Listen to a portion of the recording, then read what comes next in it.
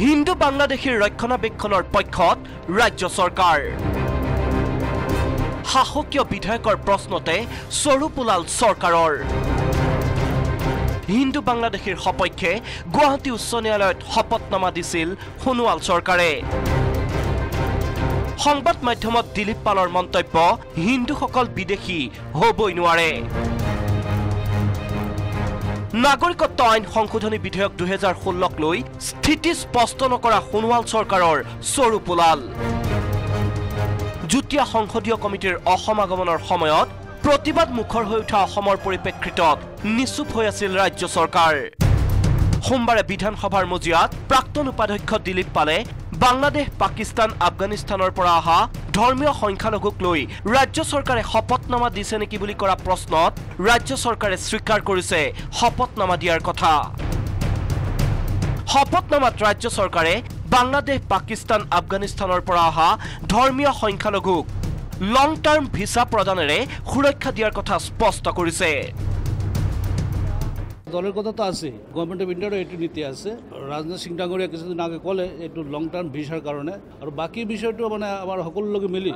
সকলো দলৰ political party আমাৰ যিমান আছে আৰু সংগঠন তেওঁলোকে মিলি এইটো সমস্যাৰ সমাধান কৰিব লাগে সংবাদ মাধ্যমত মন্তব্য দিবলৈ গৈ দিলীপ পালৰ বিতৰ্কিত মন্তব্য হিন্দু কেতিয়াও বিদেশী নহয়।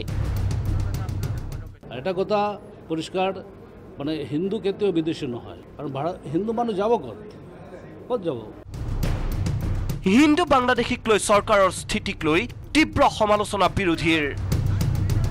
ঊনৈছশ এসত্তৰ চনৰ পিছত অহা লোকসকলক আপোনালোকে ইয়াত থাপিব বিচাৰিছে। কিন্তু এন আৰ চিৰ নামত ঊনৈছশ এসত্তৰ চনৰ পঁচিছ মাৰ্চৰ আগত অহা বহু লোকক আপোনালোকে নামবিলাক কাটি দিছে। দুহেজাৰ চৈধ্য চনলৈকে যিসকল বিদেশী আহিছে তেখেতসকলক ৰক্ষণাবেক্ষণ দিয়া আৰু অসম গণ পৰিষদ দলৰ ইছ্যু হ'ল যে এসত্তৰ চনৰ পৰৱৰ্তী সময়ত অহা বিদেশীসকলক বহিষ্কাৰ কৰা। মানে বাঘে চাগে একেলগে পানী খাই আছে একেলগে চৰকাৰ চলাই আছে এটা প্ৰশ্ন। অসমৰ ৰাইজৰ যি মনত বিভ্ৰান্তি সৃষ্টি হৈছে ইয়াক দূৰ কৰিবলৈ সোনকালে আগবঢ়াব। এই ক্ষেত্ৰত স্থিতি স্পষ্ট কৰিলে মিত্ৰদল অগপয়ো বিদেশীক লং টাৰ্ম ভিছা প্ৰদানৰ বিৰোধিতা অসম গণ পৰিষদৰ অসম চুক্তিৰ অৱমাননা সহ্য নকৰে অগপয় এই ক্ষেত্ৰত আমাৰ লং টাৰ্ম ভিছাৰ ক্ষেত্ৰতো আমাৰ সম্পূৰ্ণ বিৰোধিতা আছে। আমি কেতিয়াও সমৰ্থন কৰিব নোৱাৰোঁ।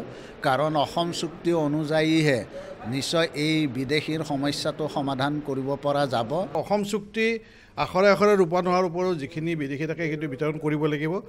অসম গণ পৰিষদ দলৰ পৰা বাৰে বাৰে আমি দাবী কৰি আছোঁ যে দ্বিপাক্ষিক চুক্তি হ'ব লাগে যাতে যিখিনি মানুহ বিদেশী বুলি চিনাক্তকৰণ কৰা হয় তেওঁলোকক যাতে আমি বিতাড়িত কৰিব পাৰোঁ। হিন্দুৱে হওক বা মুছলমান হওক আমি কোনো কাৰণত কোনো পৰিস্থিতিত অসম গণ পৰিষদ দলে এই কথাটো আমি কেতিয়াও মানি নলওঁ। এফালে এন আৰ চিক লৈ এটা কথা আৰু আনফালে হিন্দু বাংলাদেশীক লৈ আন এটা কথা।